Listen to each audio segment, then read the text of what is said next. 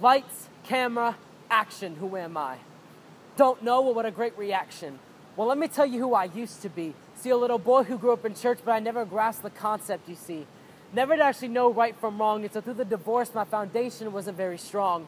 Crippled down to the ground, I was alone in this. I was the least of these. So here I was at 16, drugs and alcohol, you name it, and I did it all. Uh, sexual relations? Yes. Thank you, society, for giving a great demonstration for the generations to come. Oh, it's go on, son, be a hipster, be a rapper, because it doesn't really matter. We'll just go to McDonald's and see who gets fatter. Who am I, America? Because before I found God the Father, I buried myself alive six feet under into an abyss of temptation. Now I stand tall as God rose me from my slumber, pressing on to reach the end of the race. Who am I? Identify me as a sheep, as God is my shepherd. Thank you.